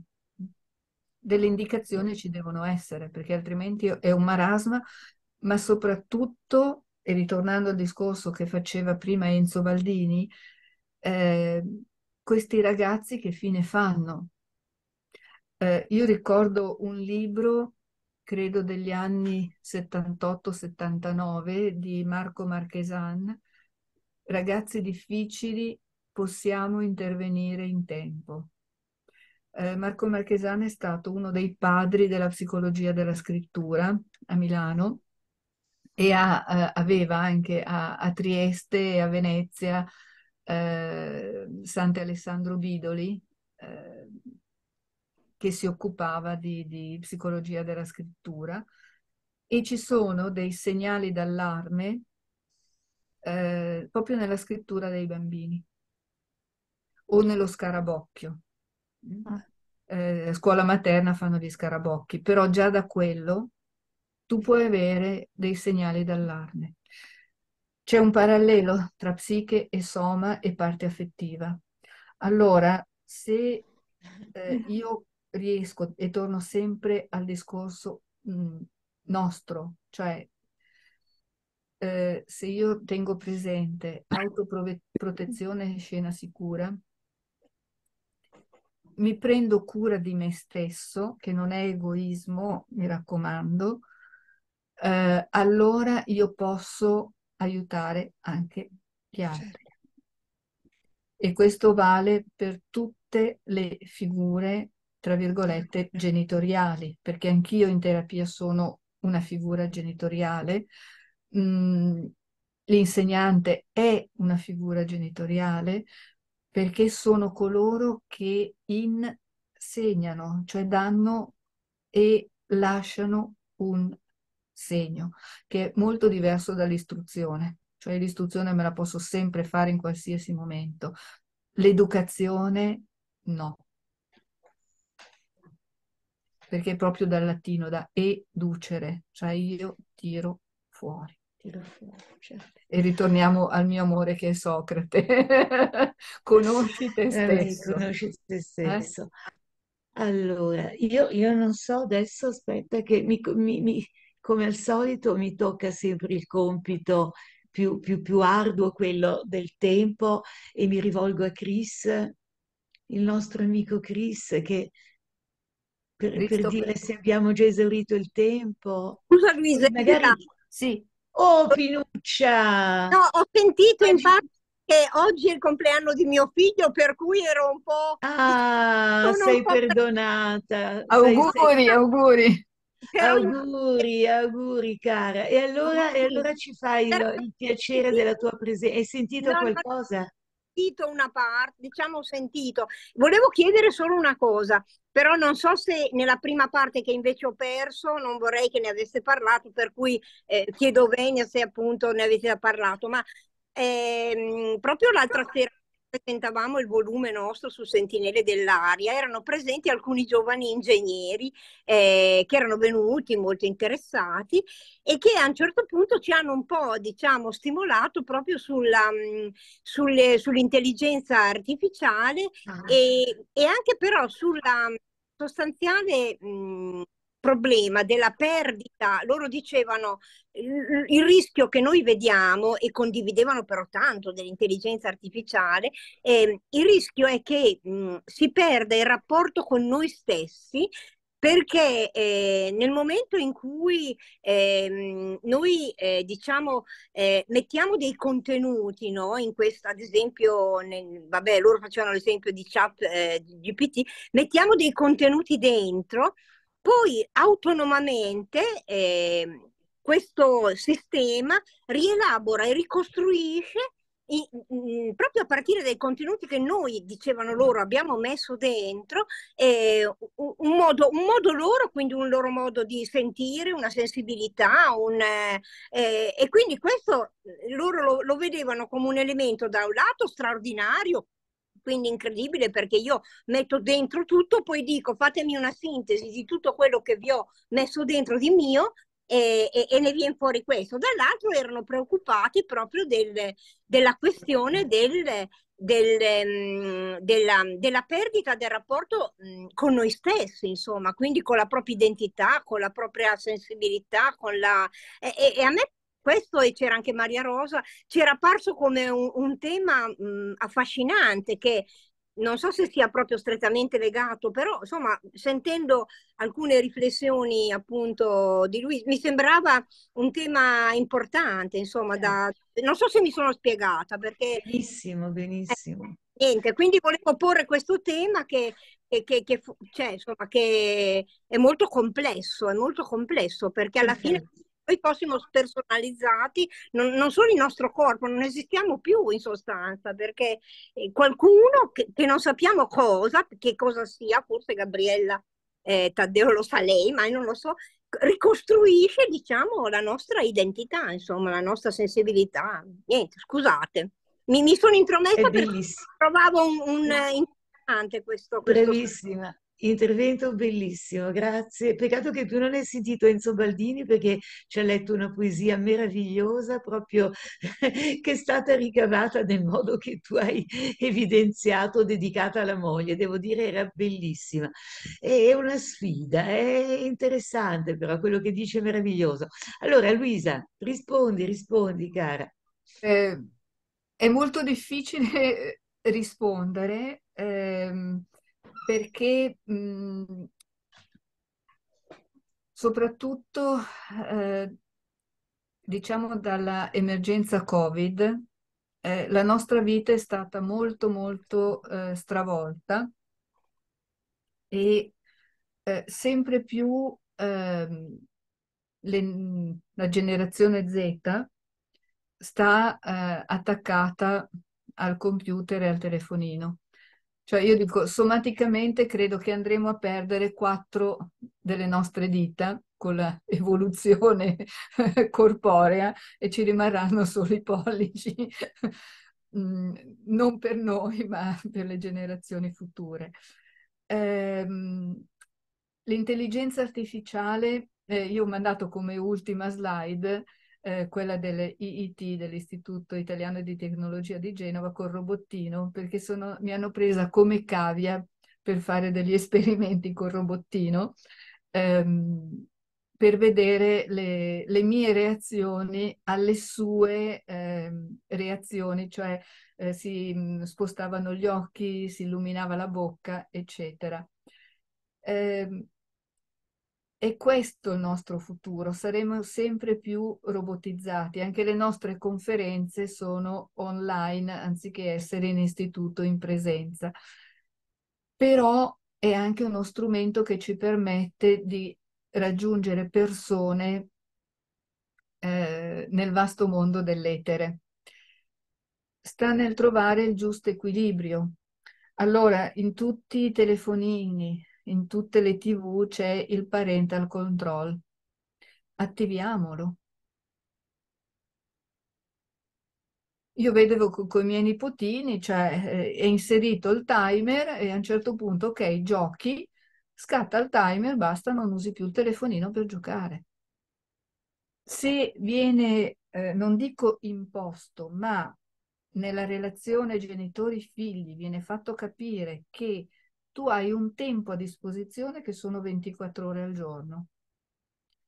E in questo arco di tempo hai bisogno di accudire il tuo corpo mangiando, bevendo, dormendo e riposando e scaricando lo stress, perché lo stress ricordiamoci che è una funzione vitale.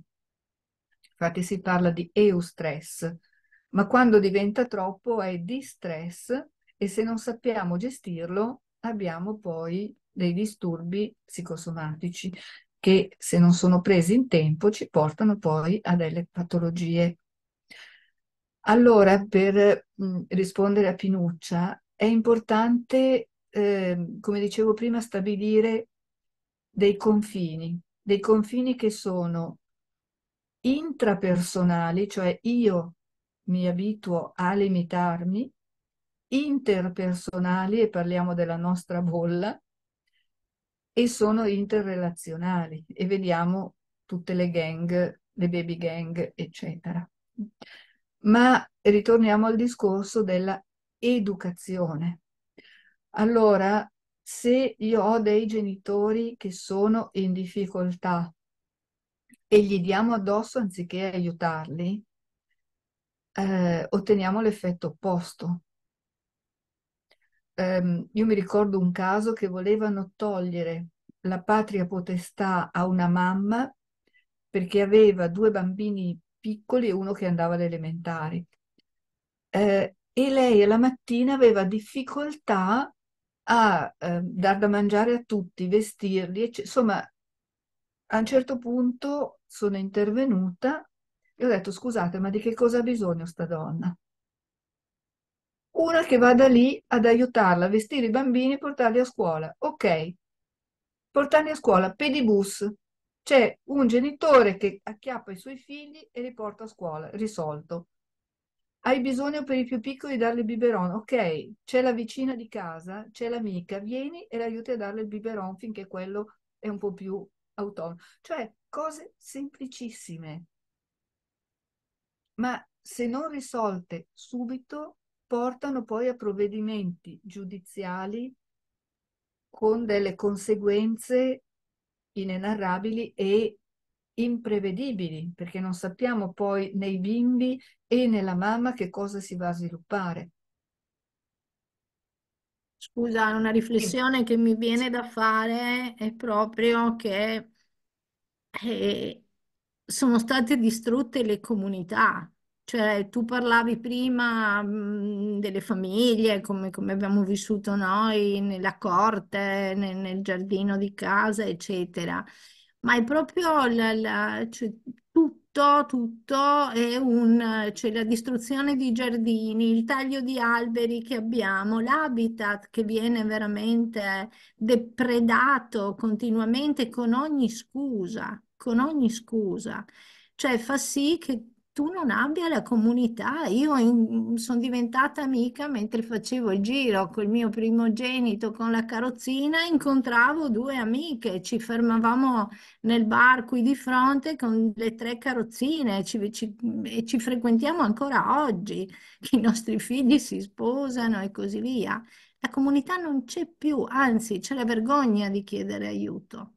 Non devi chiedere aiuto e ti rivolgi a delle istituzioni che cosa ti fanno? Ti chiudono i consultori e ti danno l'asilo dall'altra parte della città. Cioè, è, è fatto tutto per stare male, cioè, per stare male. Questo è, non c'è una politica del benessere, i determinanti della salute non se li guarda nessuno e sono lì ben chiari. Le malattie sono per un decimo questioni fisiologiche. Tutto no, la festa di comunità è un punto fondamentale, sono d'accordo, assolutamente. Eh sì.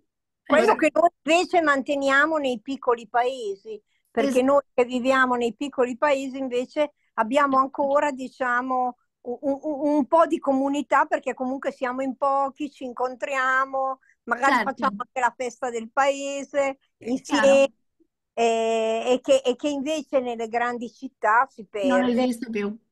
Non esiste. Questo è, un, è gravissimo secondo me, è vero, è vero. Assolutamente.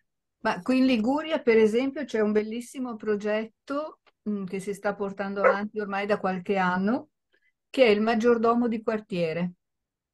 Allora, c'è questa persona che eh, soprattutto, vabbè, questo è rivolto agli anziani, eh, se io per qualsiasi problematica non posso uscire di casa, chiamo il maggiordomo e gli dico mi vai in farmacia, mi vai a comprare il giornale, ehm, mi prendi la posta.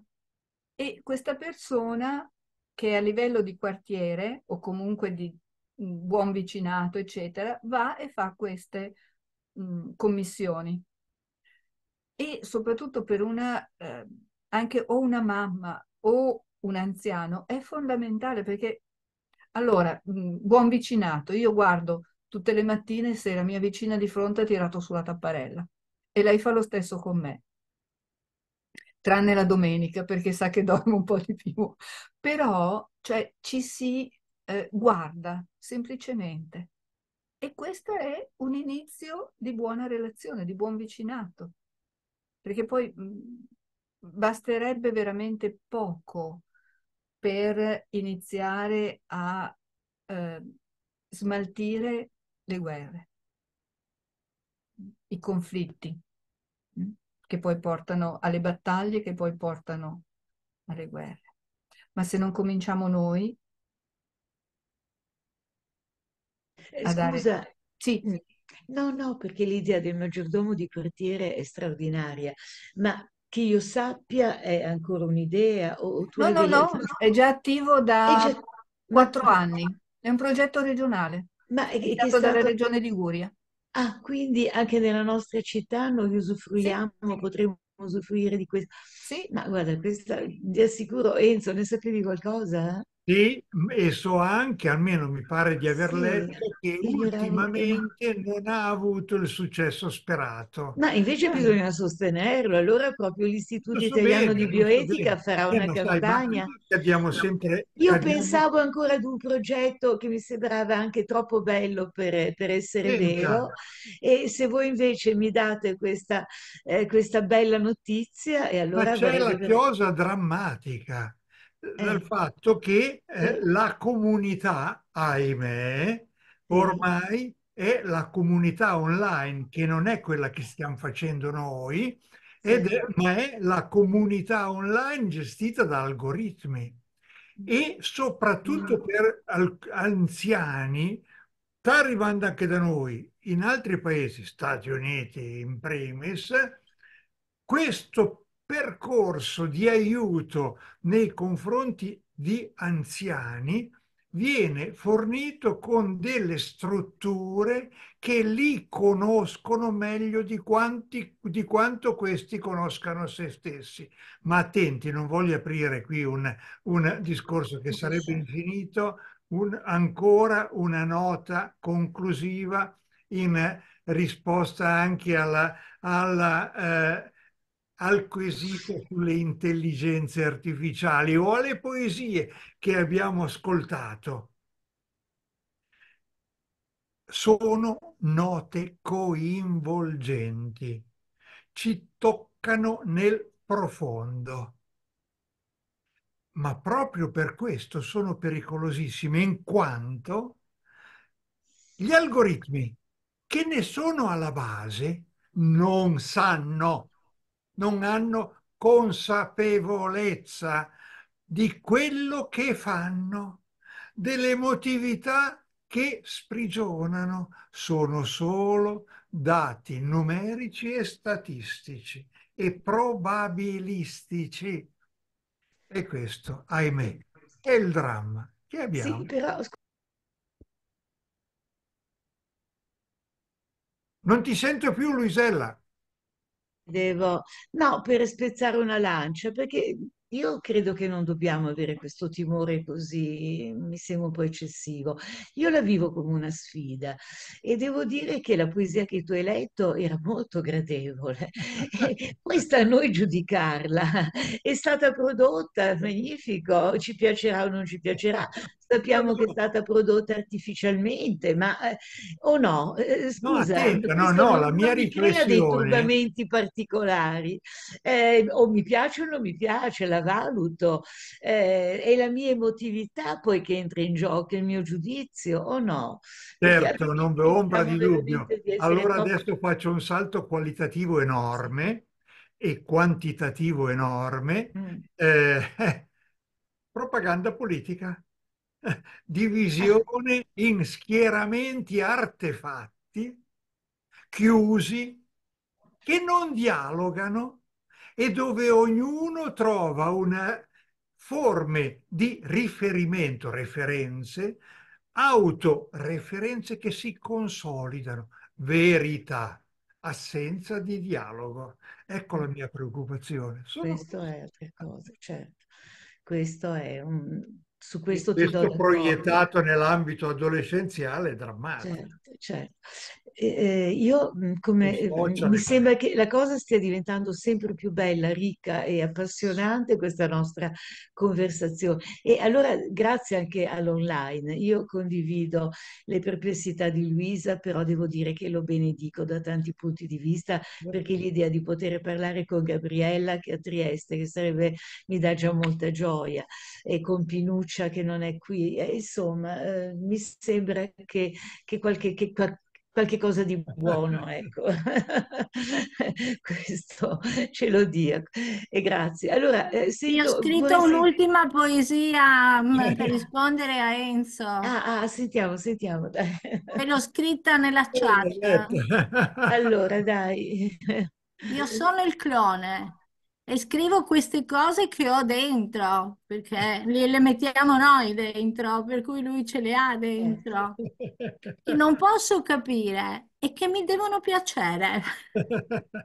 È simpaticissima, ma, ma io trovo divertente tutto questo. Eh. Cioè, se, se, noi lo adoperiamo in questo modo, che anche è un modo tutto sommato... Ma noi eh, abbiamo lo spirito critico, capito? Ecco, ecco, esatto. noi abbiamo lo spirito critico. Eh, creatività e spirito cioè... critico ci aiuteranno, va bene? Quindi a gestire questo strano mondo. Comunque veramente una tappa importante quella di Luisa oggi, ci ha dato delle straordinarie emozioni e, e, credo che veramente mi dispiace che purtroppo le presenze erano poche, ma al festival queste cose si diranno, avremo meno tempo. Vedete, io insisto molto per il pre-festival perché è veramente il momento in ah. cui noi abbiamo più tempo per parlare, per dialogare. Il festival necessariamente è qualche cosa, ahimè, che ti costringe invece alla sintesi, alla brevità. Eh, purtroppo eh, così, eh, le, le, presenze sono, sono, poco numerose, io ne speravo di più, però la qualità. direi che la qualità Beh, delle però, presenze... Scusa Almisella, ma c'è anche... C'è la registrazione, no? Esatto. C'è la registrazione. Sì, però sai cos'è? Che io trovo che sia anche molto bello l'interazione, come si diceva. Sono le relazioni, le domande che ti vengono spontanee da... E questo purtroppo con la registrazione lo perdi, ma comunque insomma noi non ci lamentiamo. Chris, io lo volevo ringraziare a nome di tutti naturalmente Grazie. e annunciamo la prossima in modo che tutti sappiano sappiano e si ricordino che il 30 aprile alle ore 17.30 Ugo Bardi chimico, autore del trettesimo rapporto Club di Roma, del trentatresimo, eh? eh, intelligenza artificiale e mobilità sostenibile ed elettrica. Ah. Non mancheremo un ottimo appuntamento organizzato dall'Eco Istituto eh, e quindi al prossimo incontro.